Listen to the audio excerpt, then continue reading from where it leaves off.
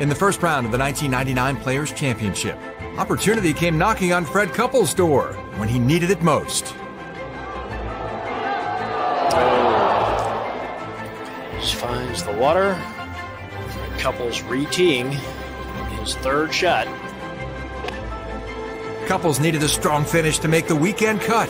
Same club. That's a nine iron again. No! Wait a minute.